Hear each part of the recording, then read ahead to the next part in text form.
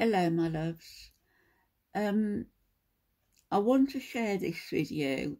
Um, it's about a girl, a woman called Edie Sedgwick. She was a model and what they call an it girl in the 60s and she was um, Andy Warhol's muse, I suppose. Um, she died at the age of 28. She had a tragic, tragic life. And um, I think she was one of seven children, seven or eight children. Her two elder brothers died, one from suicide, one from a motorcycle accident, and that affected her greatly. She suffered from mental stress and anorexia most of her life. And um, tragically died at the end, age of 28 from barbiturate poisoning. Intentionally or not I don't know but um, I don't remember her at the time. I read about her the last few months and I just thought I'd like to do a short video as a memoriam to her beautiful woman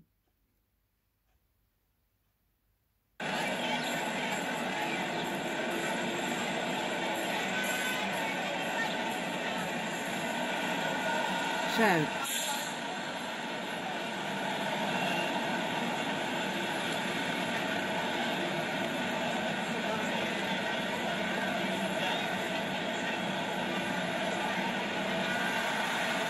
the tale of Edie Sedgwick. Her name was actually Edith.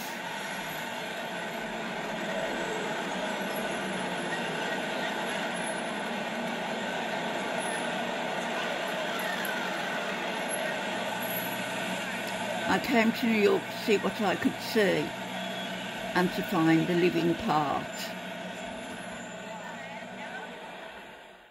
I was dancing jazz ballet twice a day, so I just wore my leotards. Vogue photographed me in leotards and a t-shirt as a new costume.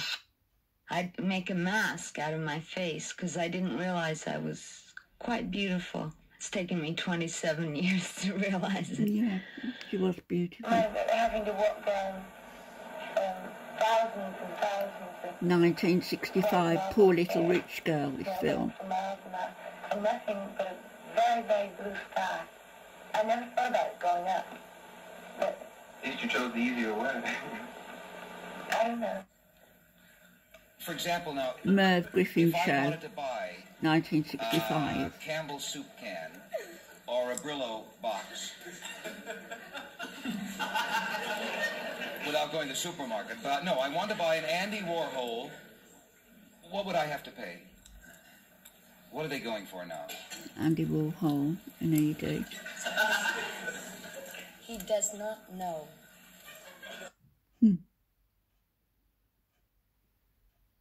And, uh, Then I, I must say I liked the introduction to drugs I received. I was a, a good target for the scene. I, I blossomed into a healthy young drug addict. that's sad.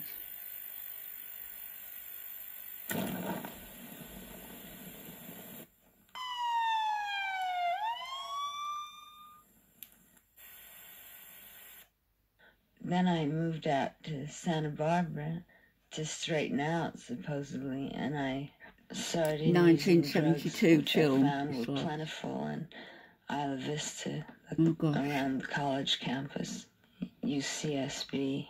That's a, a movie, that's not real life. all kinds of kids a lot younger than me. I had fun, but I really didn't have anyone I particularly loved. I and I still don't, except for loving friends. But I mean, um, I haven't been in love with anyone in years and years. Uh, but I have a certain amount of faith that it'll come.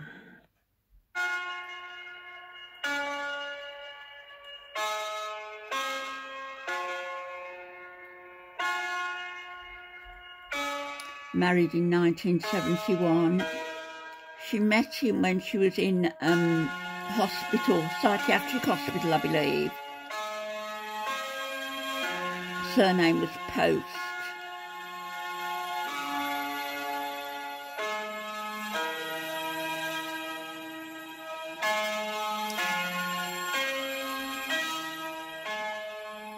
In Arizona and she came to visit with Michael. And I said to her, you know, Edie, I'm so glad you're brother. alive. I'm so glad you're married. And I'm so glad you're so happy because she really was happy and she wasn't doing drugs at that particular moment. She looked at me with this wonderful feeling in her eyes. And then I said, but I thought you would never make it.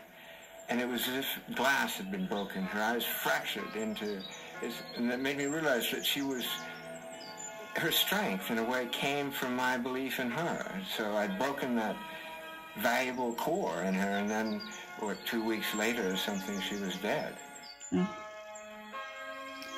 November the 16th, 1971, at the age of 28, she died. Cause of her death was barbiturate overdose. You will never be forgotten, little Miss S. Sedgwick. So, I'd like to say here as well that the Sedgwick family have a plot um, in the shape of a pie, it is, in the States. I think it's in California.